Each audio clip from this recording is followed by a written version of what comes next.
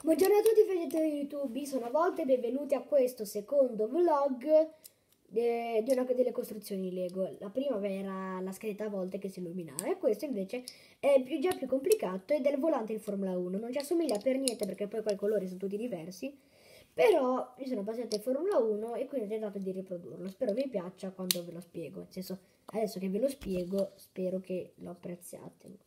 Che cavolo sto dicendo? Comunque non importa, ecco. Questo è il volante.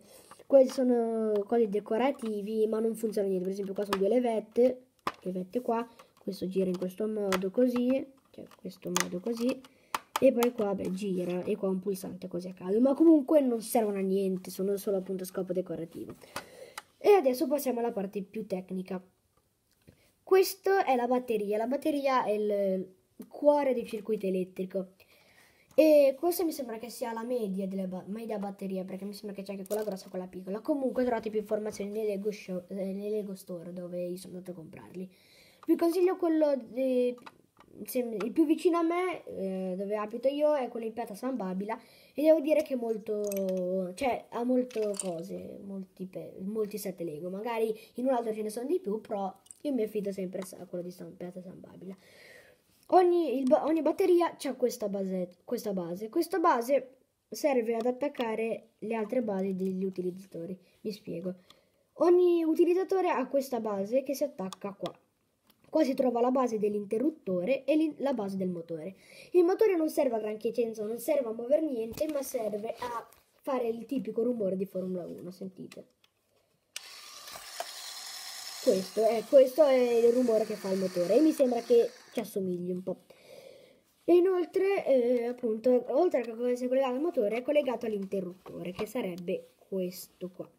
Questo interruttore è, è, un interruttore ed è collegato alle luci, quindi quando faccio così, aspetta, si è rotto il vetro, quando faccio così si attiva le luci e quando faccio così si disattiva. Eh, potrei anche toglierlo, metterlo qua dietro, ma c'è questo pezzo di Lego che blocca. Eh, quindi le luci si trovano qua dietro. Adesso tolgo. Scusate se ho coperto la telecamera, però mi dispiace. E quindi qua ci sono le due lucine. Che quando attivo il motore e attivo questo vanno. Ok, adesso puoi spegnere. E poi volevo dirvi un'ultima cosa. Eh, che il motore, eh, il motore appunto serve a muovere, metti le ruote o altre cose. La direzione delle ruote, per esempio avanti o indietro, è determinata da metterlo avanti oppure metterlo indietro. Mi sembra che se lo metti avanti fa un giro orario, indietro antiorario, non mi ricordo, ma comunque il moto che segue è opposto. Ecco.